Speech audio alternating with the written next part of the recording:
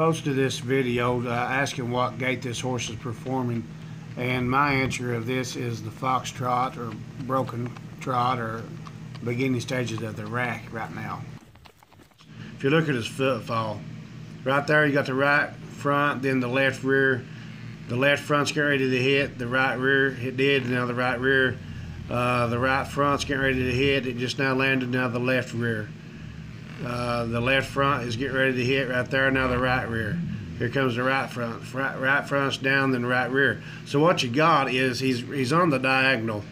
Um, a lot of people would call this the foxtrot. Uh, it's he's he's he's going to be a racking horse when he's finished, but right now he's really trotty. So what we got here, let's look at this. the right front is getting ready to hit. Right there it is. Now the left rear. Now the left front's getting ready to hit. Right there it touches. Now the right rear. So what we can do to help this horse stop trotting is we can either slow um, the back end down, the timing of the back end down, the back feet. So what we want to do is uh, is let the front or speed the front end up.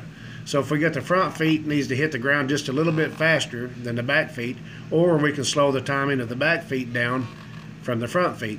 So, so right now, like I said, he's on the trotty side. He's on the diagonal more than, than he is an even four beat gait. He's not performing an even four beat gait, but he is performing a four beat gait. It's just not even. He's very trotty.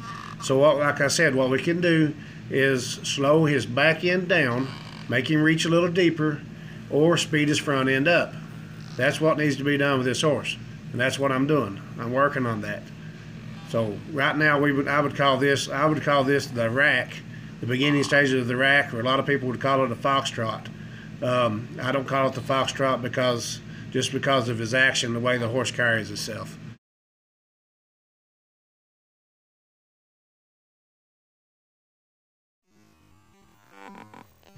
Let's look at the difference here between the original video of him performing the broken trot or the foxtrot versus this one. Notice his legs on his left side, they're going in pairs. See that? His left rear, hit now his left front's getting ready to hit right there. Now his right side, his right rear hit, and his right front's getting ready to hit. There it is. Now his left rear, now just now hit, now his left front. His right rear hit now, and his right front now. Now his left rear is now, and his left front just now hit right rear, right front, left rear, left front your left rear, your left front, etc. Right rear, right front, left rear, left front, right rear, right front. He's now moving in a lateral four beat gait, which is the rack.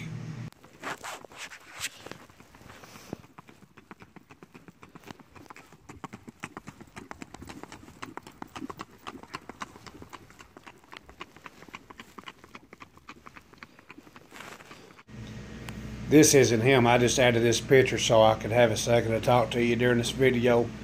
So what we've got is I've had a horse. He's extremely trotty. He's trot, trot, trot, trot.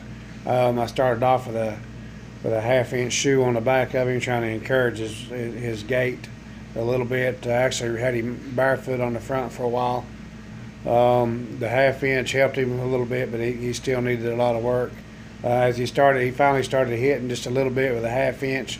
So when he did do that, uh, I, I, went ahead and moved him down to a three eighths because my, my goal is to get him on keg shoes. Um, nobody wants a, a, trail horse with a big shoe.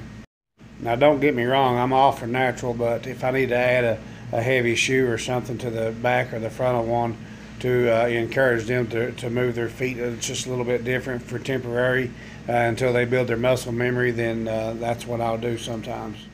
So after I took him off the half inch shoe, went to 3 8 he, he began trotting hard again. I rode him like that for a couple of weeks, uh, and he, he eventually started hitting with the 3 8 or gaiting rather. Uh, I call it hitting. Uh, it's a little bit of a redneck terminology. But uh, he started gaiting with a 3 8 so then I moved him on down to a keg shoe. Uh, the keg shoe actually has a homemade um, metal plate welded in the toe of it this will help him get his back end underneath him a little further, make him extend his stride a little bit, um, and teach him his gait. Uh, and he's actually doing better with it than he did the half inch or the 3 eighths, just because basically he's a little bit on the lazy side, and the 3 eighths and half inch he couldn't hardly swing his back end as deep as what he can with the toe weight. So my next step is right now he's got the toe weight uh, shoe on the back. He's got a light keg shoe on the front, diamond light keg shoe. Um, I, my, my next goal is obviously you can see that he's gaiting now. He is actually performing the rack. My goal is now I'm trying to set his head. Uh, I'm not I'm not going to force his head, but I'm just teaching him to carry himself with a lower head, which which would be my my goal of my finished product. Uh, once I start setting his head, obviously he starts uh, going back into the trot, which is what you're seeing in this video. The beginning of the video is actually uh, pretty pretty current. Uh, he's actually starting to trot just a little bit more with me, which has to be expected. Had I set his head from day one, I wouldn't even be as far as I am with his gaiting. We'll set his head after we get it after we get him gaiting. So right now, as you see in the video, his head still is a long ways from being set. I barely have any any just least little bit of a tie down on him, just to, just to slowly, just to gradually start bringing him down. And as he starts gaining uh, more of his lateral movement and getting into his rack, I'll, I'll slowly start bringing his head in a little more, and he's going to go go right back to diagonal, and I'm going to I'm going to slowly keep riding him like that until he gets lateral on me again, and then eventually I'll have a finished racking horse. Once he learns to carry himself and, and perform the rack with his head halfway decent, I don't need it to be perfect, but I do need it to come down a little bit once he learns to carry himself in a collected manner, I will I will probably just go ahead and remove uh, the toe weight shoe from the back, and he'll have four keg shoes.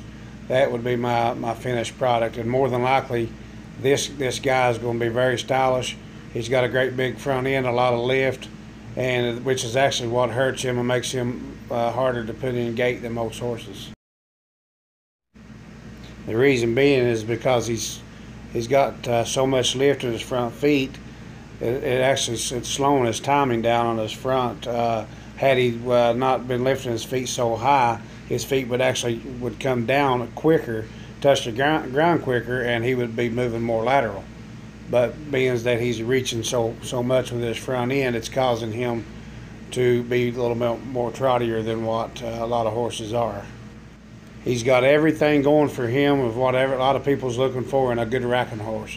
He's trotty, he's very square, he will gait, he's blowed back in the bridle, he's got a big front end, and he's got a lot of speed. It's going to take some time, but when I'm finished with him, he's going to be one of a kind. He's going to be extraordinary.